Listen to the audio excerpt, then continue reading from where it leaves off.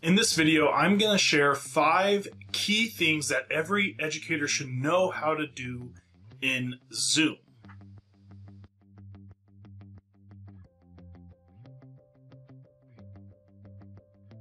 If you're an educator of any type, you likely are going to be using Zoom a lot this upcoming school year. Everything from meetings to office hours to classroom teaching. There are certain things that we can do to make your life easier, but also to increase the accessibility of that format. And that is so important in this digital age.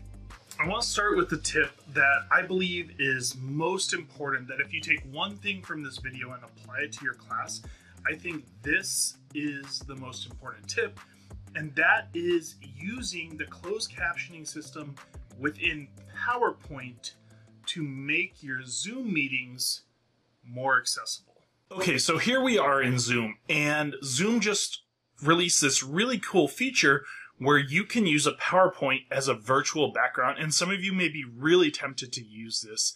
However, I'm going to encourage you not to because there's a better way to share a PowerPoint that makes your course more accessible to all of your students. So let me show you what that looks like if you go to share screen, it's going to open up, and if you choose advanced, you could choose this new PowerPoint as a virtual background. And so many of you are going to be tempted to do this. And it does this really cool thing where it loads the PowerPoint up. You could see me overlaid down in that bottom corner, and I could actually click and move myself around wherever I want to go within this PowerPoint. I could shrink me and I could make me huge, which is really cool features. However, this makes your PowerPoint much less accessible to your students. And so the power that we can do here is pretty limited. You can just go forward and backward through these slides that are already preloaded. You can see that there's not a lot of options for managing this. So let me show you how to share a PowerPoint in a different way. And so if you're already sharing, and this is a cool tip, a little bonus one here, you can click share screen again and choose a different screen to share. You don't have to stop the share and then reshare. So once you're in PowerPoint, in order to make what I'm about to show you work, we need to go over to slideshow and we need to make sure that we have always used subtitles enabled. Now, if your language is not English, if your spoken language is not English, what you want to do is go to the subtitle settings and you could change your spoken language to any number of other spoken languages. So that's the first part. Now I'm going to present this PowerPoint and this is being shared in Zoom, but what you can see is that as I talk, PowerPoint is automatically transcribing my words and my talk and my content. And this is so powerful. And that was so easy to do when it comes to making your class more accessible. This is something that you can do in seconds and it will improve your students' experience. They will get more out of your class by having this on you can encourage your students to do this. If your students are sharing a presentation within Zoom, they can do this same thing. Now, I want to show you a couple more cool things with this.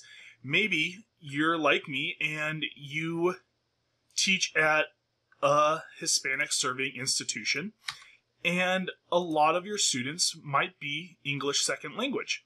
So if we go back to PowerPoint, and I need to actually, there we go under subtitle settings, I can make the subtitle language any number of languages as well. And so I said Hispanic Serving Institution. I have a lot of students who are English second language and their primary language is Spanish. So now, when I go to present, what PowerPoint is actually going to do is it is going to not only transcribe what I'm saying, but it's going to automatically translate it into that language that I chose. And this is so powerful. Could you imagine being an English second language student and you come into a class and your instructor acknowledges this and actually translates live for you? That is so powerful. And any of you in the comments, you can let me know how well it does. Um, I've talked with some other students and they said it actually does a pretty good job. So you can let me know if you're a native Spanish speaker that whether this is bad or not.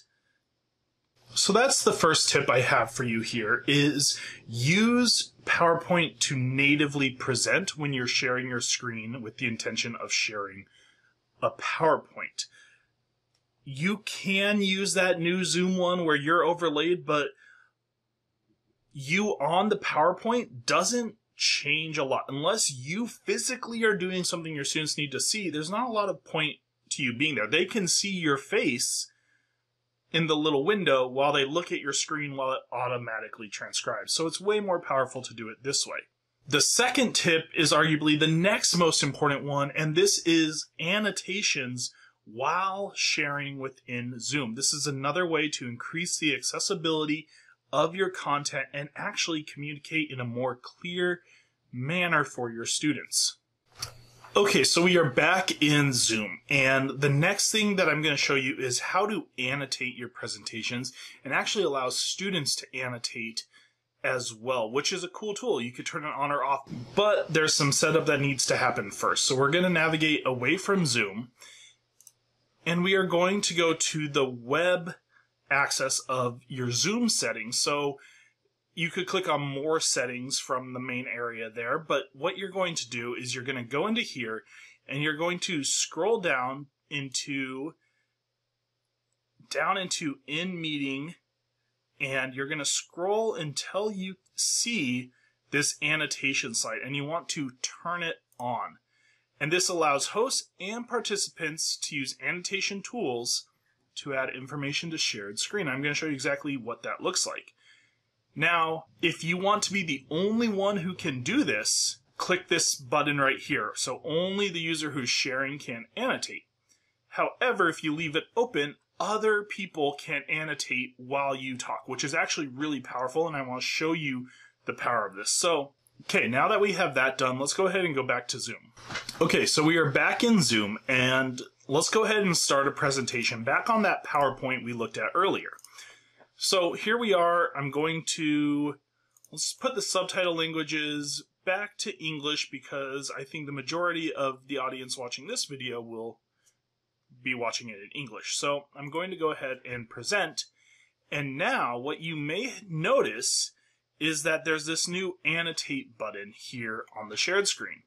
So I click that and now I have a ton of different options that come up. And so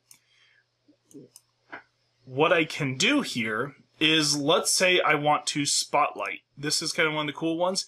My mouse now becomes a laser pointer. So if you want to really highlight in on a piece of your PowerPoint, your students will now see this little laser pointer that works with your mouse, which is cool. Stamping is pretty cool. So a stamp allows you to put an arrow. So if you want to draw attention to something in your PowerPoint, you can just click these arrows as you need. And if you accidentally put in the wrong spot, you can click undo and redo in order to move those around. Spotlight also has something like this. So when you click Spotlight and you have this arrow, you're going to see that Dustin Bakkie highlighted this. Now, this is cool because your users, and I'll try to have one hop in. And look, an imposter, Dustin Bakkie, just hopped in. What he is going to do is he is actually going to work on annotating as well. He has the option to draw all over my screen. And so you can see he just put a line on there he can put an arrow to say, I have a question. This is a good way to have your students actually show exactly what they have questions on. They could also text, they could put text and say, you can see that Dustin Bakkie, imposter, just said what on the screen. You can also clear everything. You can clear viewers' drawings. So if someone puts something on there that you aren't happy about, you can get rid of that. As you can see, there is a lot that you can do with this annotation thing, and you could save these at the end and you can exit at any time. And so this takes your presentation to the next level, right? We have annotated captions automatically coming up and annotations on the screen. So there's never been better ways to convey material to your students. In fact, you probably couldn't do a lot of this in the classroom, so this is a positive of being online. Okay, so we are back on Zoom, and the next two tips I want to show you are relevant right within a meeting. So we could see that this Yahoo has jumped into my Zoom meeting and has my same name. Now, I don't like that. Maybe he's not willing to change it. So as the host, what I can do is come over here, put my mouse over his screen, go to these three arrows, and I could rename him. So I'm going to name him the imposter. There we go.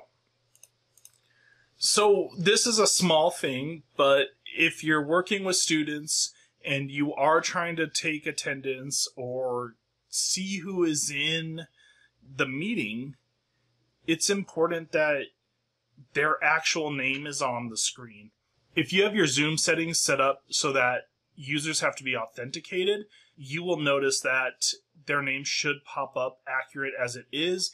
You can also go to your security setting and allow students to rename themselves. Hopefully you don't run into any students who aren't willing to rename themselves, but if that's the case, you can easily do this. Or maybe you have two Dustins and you want to differentiate between which is which. So for this next tip, I actually have to move my iPad out of this room. So I'm going to do that real quick. Okay, so now that my iPad has successfully been moved out of this room, you might notice that they have become unmuted. And the reason I had to move it out of the room to do this was that the two devices would echo across themselves being next to each other. And so if you're going to use a secondary device like an iPad or a phone, you need to make sure one is muted at all times to not get this weird super echo. So my iPad is in the other room and this imposter Dustin Bakkie just won't shut up. He's being loud. We hear his cats, we hear his dogs, we hear the construction, or maybe he just is being too loud in general. You can simply come in here, hover over, and press mute. And then you can mute them from far away. So that's convenient if you could identify who's making the noise and want to just mute that one person. However, if you want to mute the entire class, what you can do is just press Alt and M, and everyone gets muted instantly. This is besides you as the presenter. So this is a fast and easy way that you can help manage and just make your meetings go more smoothly. And that was the fourth tip. Another little bonus tip as we move into our last tip for this video is let's say this imposter Dustin dinosaur is just being a ruckus and you need to get him out of here. You can go in here and press remove. And if you remove them, they will be unable to rejoin the meeting. Now, that is pretty powerful of a kick, so you need to keep that in mind, but there are settings that you could go into to remove or to allow them to rejoin at a later time.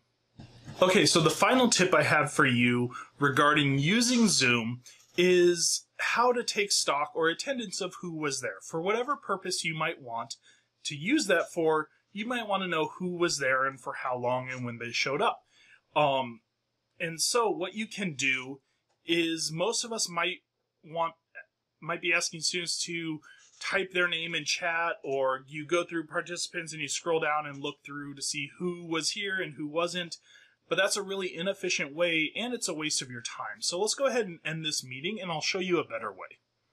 Okay so now that this meeting has ended what I'm going to do is I'm on this main page of Zoom, and I'm going to go up to the top and over here to the left to reports. When I click on reports, I'm going to choose this usage tab and we will see that we were just in this personal meeting room with the Dustin imposter. And if I click on these participants, this number, it will show me who was here, what time they joined, and what time they left, and how long they were there for. And then you could actually export this to a CSV file.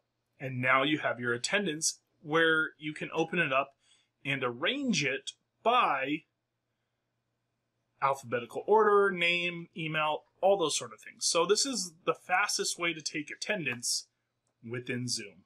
So in this video, we went over five tips that every educator should know for using Zoom, including ones that make it much more accessible to your students. And those were using the native PowerPoint presentation caption and auto captioning and translation rather than the in Zoom virtual background presentation of a PowerPoint.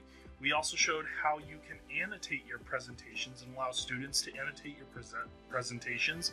We showed you how to mute all of your mute your whole group and we also showed how you could rename your students.